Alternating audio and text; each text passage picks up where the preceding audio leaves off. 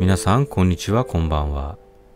タムロンから1月に発売されたレンズを買っていました。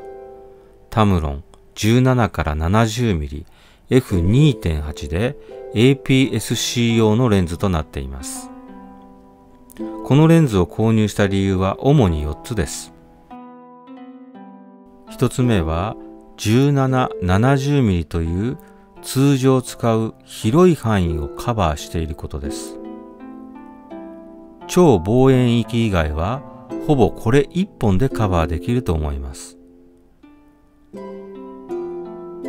これまで少しだけカメラを持ち出して撮影するときには軽いので 16mm や 35mm の単焦点レンズをつけていました。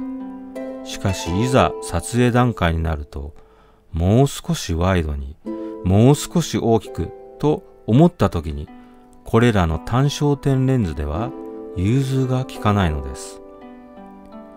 それでこのレンズの広い価格のカバー領域は即戦力になるに違いありません。二つ目は F2.8 同士の明るいレンズという点です。室内で撮影することが多いので焦点距離に依存しない明るいレンズは助かります。特に APS-C は暗いところに弱いのでレンズで明るさを稼がないとノイズが乗りやすいです。望遠側で撮影するときに暗くなる心配がないのは大きな強みです。三つ目は近くに寄れるという点です。ワイド端で0.19メートル、望遠端で0.39メートルまで寄ることができます。特にワイド端の0.19メートルはレンズフードにぶつかるぐらい寄れます。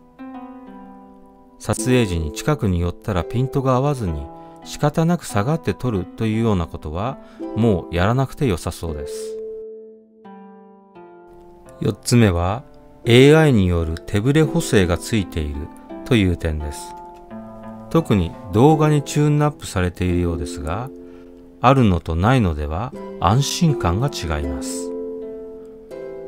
これら4つの理由によりタムロン 1770mmF2.8 を購入することにしました。レンズ自体が少し大きくて重いとか周辺原稿が少し出るといった欠点はありますがこの長所を考えればビビたるものです。それでは引き続き開封動画をご覧ください。そうそう、ここで言っておきましょう。本動画は開封するだけの動画です。今ありがちな最後の方にサンプル写真や動画とか他のレンズと比較して何とかとか一切ありません。そしてここから先はナレーションもありません。それでは開封動画をご覧ください。